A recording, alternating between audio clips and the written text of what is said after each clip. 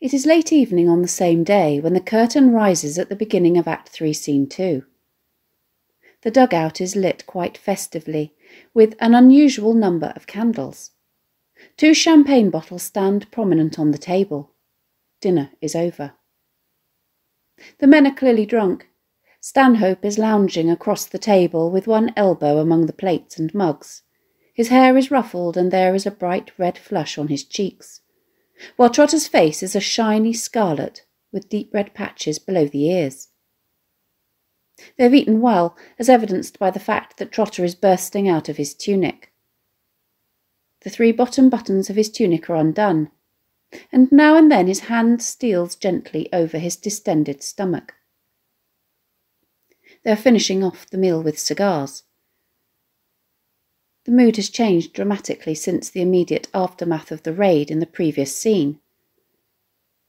The men appear, on the surface, to be relaxed and having a good time. But the atmosphere is one of forced, almost febrile gaiety as they strive to forget, just for a short time, the imminent onset of tomorrow's attack, as well as Osborne's death, which has been a stark reminder of their own mortality. Never has the saying, eat, drink, and be merry, for tomorrow we die, seemed so appropriate. Notice how Hibbert's thin white fingers are nervously twitching the ash from his cigar, and how his laugh is high pitched and excited, suggesting barely suppressed tension. Note also how neither of the two men from whom we first learnt about this meal, Osborne and Raleigh, are here to enjoy it. Osborne for obvious reasons, while Raleigh's absence is more of a mystery at this point.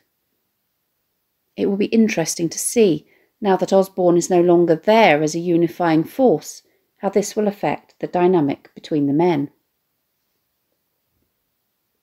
The scene starts in the middle of Stanhope telling a funny anecdote about an encounter with a Frenchwoman, where his trousers seem to have had a starring role which has Trotter and Hibbert in fits of drunken laughter. It's a moment of light relief after the drama of the raid and the death of Osborne. There is still an undercurrent of tension. We only come in at the punchline, but it's enough to be able to tell that Stanhope's story is somewhat risque. I simply drew myself up and said, Very well, mamselle, have it your own way. And she did. No, she didn't. Again the others laugh. Trotter wipes a tear from his eye. Hibbert starts to tell his own story about a couple of tarts that he picked up one night. Note how, while Stanhope's was witty, his is just unpleasant, and our antipathy for him grows as he talks about women in a derogatory manner and demonstrates that he takes pleasure from having treated them in a very ungentlemanly fashion. And those tarts began cursing me like hell, said I'd done it on purpose. I said if they didn't damn well shut up, I'd chuck 'em both out in the road and leave 'em. We can tell that Stanhope neither likes nor appreciates Hibbert's sense of humour or attitude towards the opposite sex, as he ironically responds, Hurrah! That's the idea. Treat 'em rough. Trotter doesn't seem too impressed either and changes the subject, remarking that he never had no motor car. My old lady and me used to walk. Legs is good enough for me. Up until the middle of the 20th century, when they began to be mass produced in factories, cars would have been a luxury item and so would have been out of reach for working class men such as Trotter. This reminds us of the differing backgrounds of these officers who are equal and yet unequal.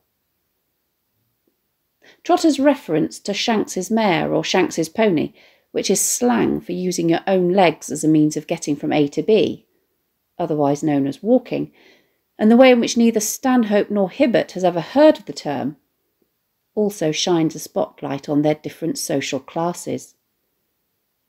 Note how Hibbert mocks Trotter's turn of phrase, clearly seeing him as a figure of fun to look down on, as he is now not laughing with him, but at him.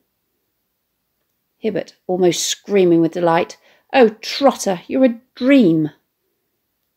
This doesn't escape Trotter, who responds in kind, turning a baleful eye on Hibbert. You've had too much champagne, you have.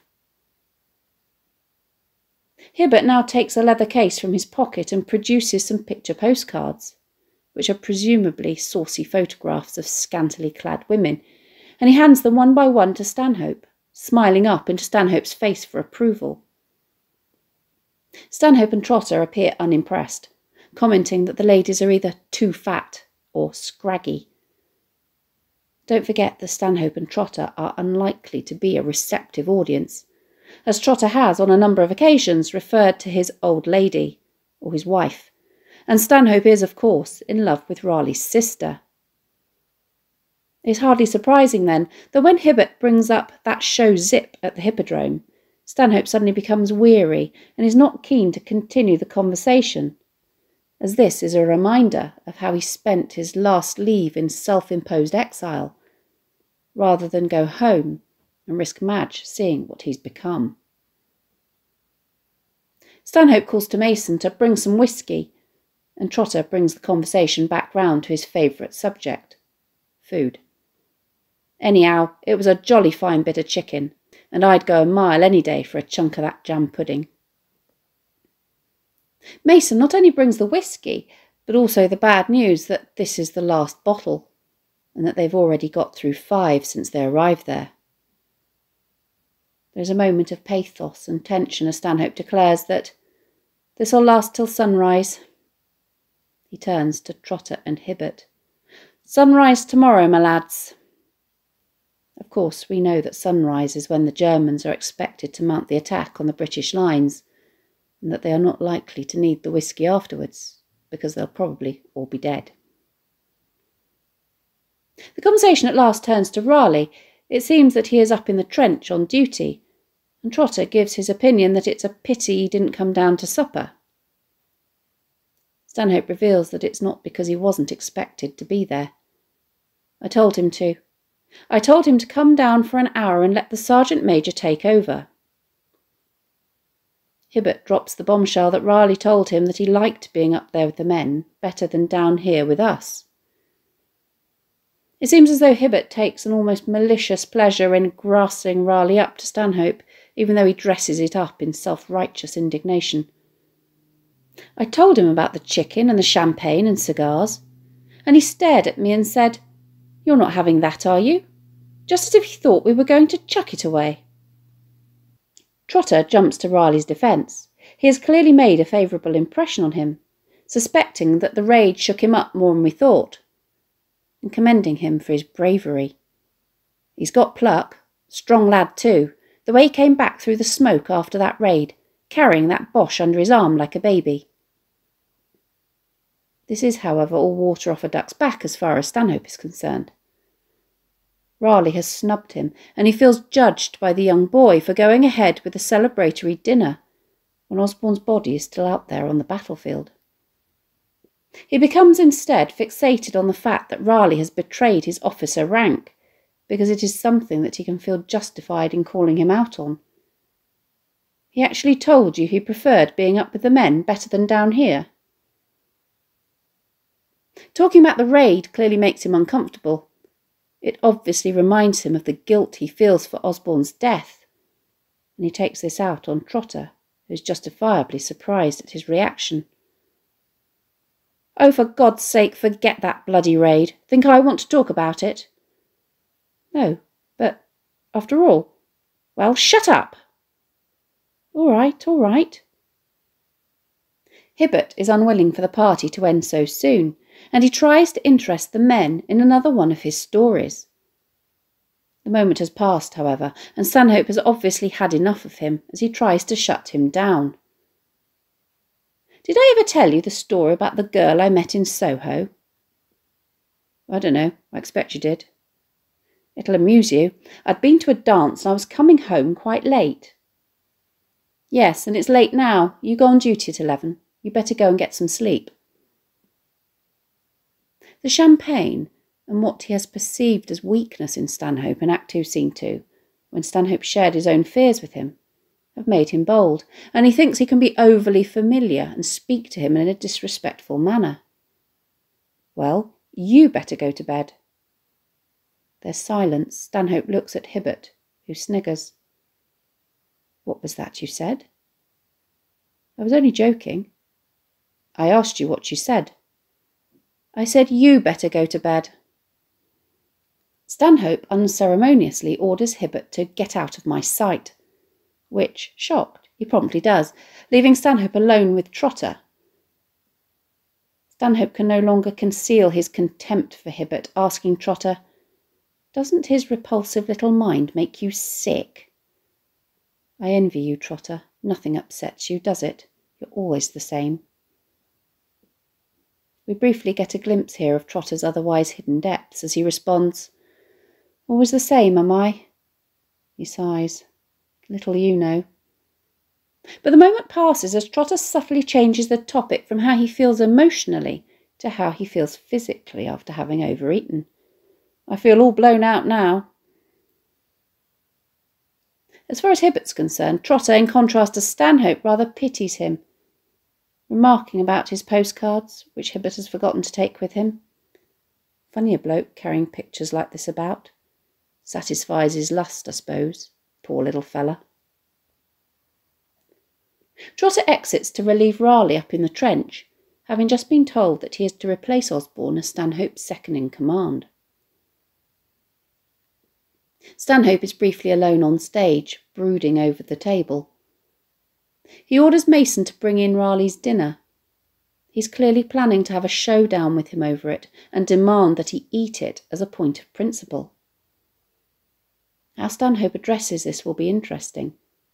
By taking a moral stance, Raleigh is effectively saying that the others have been somehow immoral in partaking in the meal, and this is what Stanhope is most upset about. We know that his getting drunk and acting cheerful is not only a way of keeping up the morale of the rest of the company, who are facing almost certain death the next morning, but it's also his coping mechanism. If he gives way to his grief, he will be incapable of functioning. When Raleigh enters, there is an obvious awkwardness between the pair. He hesitates at the bottom of the stairs, repeating himself and stumbling over his words when Stanhope immediately confronts him over not having come down to eat. Oh, I'm sorry. I didn't think you. Er. Uh... Note how Stanhope puts him on the spot, demanding that he finish what he started to say. Well, you didn't think I. Er. Uh, what? I didn't think you'd. you'd mind. If I didn't. Rather, however, than downright refusing to eat the meal, Raleigh reveals that he's not hungry because he had something to eat up there. This gives Stanhope all the ammunition he needs to give him a dressing down, without touching on the real reason for his annoyance. Now, look here, I know you're new to this, but I thought you'd have the common sense to leave the men alone to their meals. Do you think they want an officer prowling round eating their rations and sucking up to them like that? My officers are here to be respected, not laughed at. Note how Stanhope and Raleigh now communicate over the next four lines in a back and forth of rhetorical questions to indicate the extent to which they are poles apart, as they refuse to understand one another.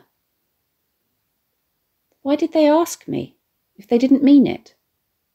Don't you realise they were making a fool of you? Why should they? So you know more about my men than I do. Raleigh tries to diffuse the situation by offering an apology of sorts, although notice how it is conditional, communicating that he doesn't really feel as though he's done anything wrong. I'm sorry then, if I was wrong.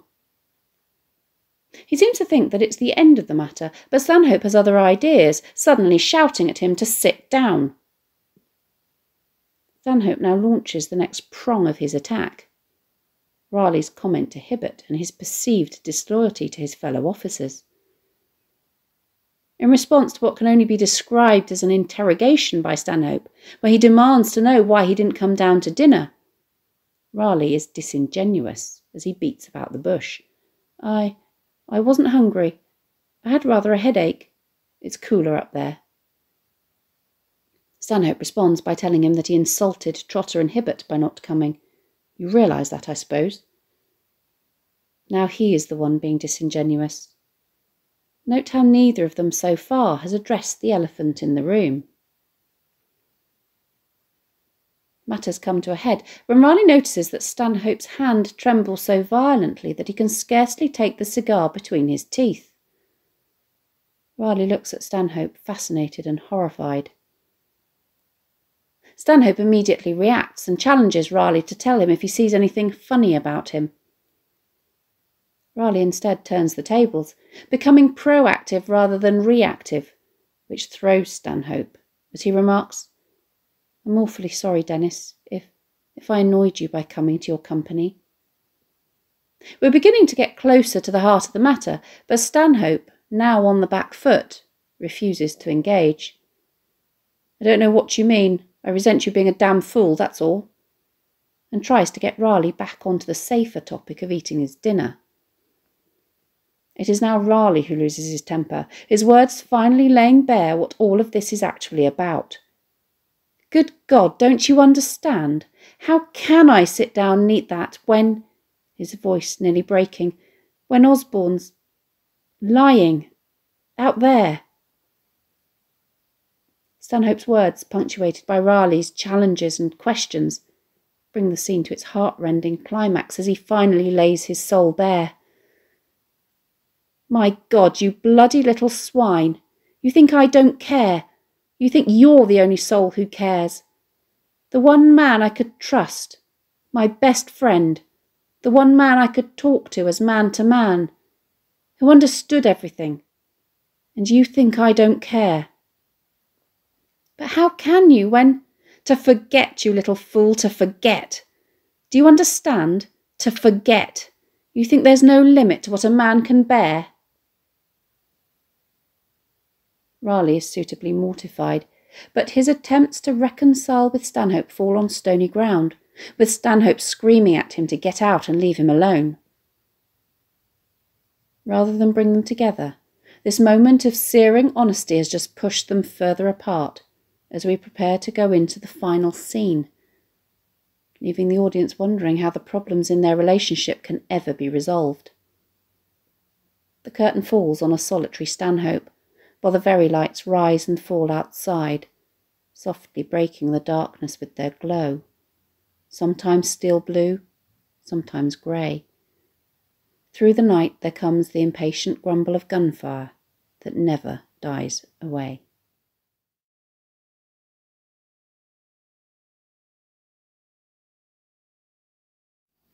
Thanks for watching. If you have any questions, please let me know in the comments section below and I'll do my best to answer them. Don't forget to subscribe to my channel for more videos on English language topics and exam techniques and English literature texts.